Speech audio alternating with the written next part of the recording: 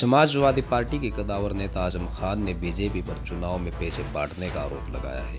उन्होंने आरोप लगाते हुए कहा कि एक स्थानीय नेता और पुलिस की गाड़ी में गाजियाबाद नोएडा से पैसा लाकर रामपुर में बांटा गया। सर इस बार हम देख रहे हैं कि समाजवादी पार्टी के जो लोग हैं वो खुद अपनी ईवीएम की सुरक्षा कर रहे हैं। ऐसा हमने कभी नहीं देखा सर। हम समझते हैं जिलाधिकारी का वहाँ जाना खतरे से खाली नहीं है।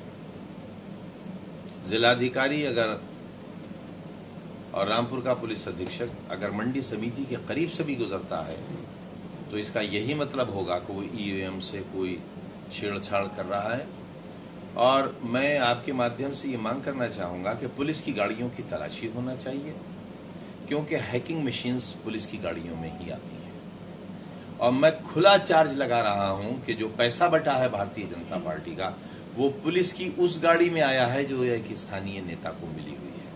इस पर सीबीआई जाँच बैठा दें इंटरपोल की जाँच बैठा दें दिल्ली और नोएडा से जो भी पैसा यहाँ बटने के लिए आया और पुलिस की गाड़ी में आया है। काशीराम कॉलोनी में लोगों ने देखा है। काशीराम कॉलोनी में वो पैसा बटता हुआ लोगों ने देखा है और इसके अलावा पूरे ज़िले में बटा है। मैं अंतर्राष्ट्रीय एजेंसी से इसकी मांग की इस, इसकी जाँच की मांग करता हूँ। मैं मैं इस बात के लिए तैयार हूँ कि मुझे फांसी के तख्त पर चढ़ा दिया जाए।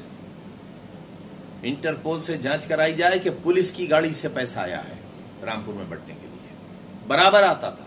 कुछ अनुमान है कितना पैसा आया और कितना बटा? सैकड़ों करोड़ में आया। इसको काउंटिंग को आप किस तरीके से और सब जानते हैं भाजपा के प्रत्याशी का सच उनके साय का सच कौन नहीं जानता।